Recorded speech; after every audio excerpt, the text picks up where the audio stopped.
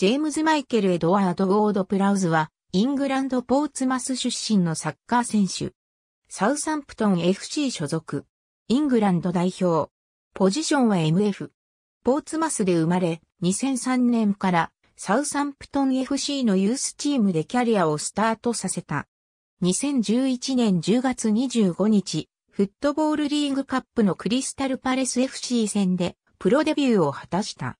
2012年1月7日、FA カップのコベントリーシティ戦でプロ初ゴールを挙げた。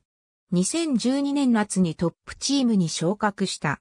18歳の誕生日の直後の2012年11月19日、クラブと5年間のプロ契約を締結した。2013から14シーズンは、プレミアリーグで34試合に出場した。2015年1月に、クラブと新たなに5年半の契約を締結した。2015から16シーズンは公式戦38試合に出場し、シーズン終了後に6年契約を締結した。2016から17シーズンは公式戦43試合に出場し4得点を挙げた。2019年3月、ホームでのトッテナムホットスパー戦でフリーキックでゴールを挙げて勝利に貢献し、2018から19シーズンはプレミアリーグで7ゴールを挙げた。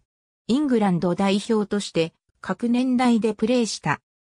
2012年9月に U-19 イングランド代表に選出され、2013年3月の U-19 トルコ代表との親善試合でキャプテンを務めた。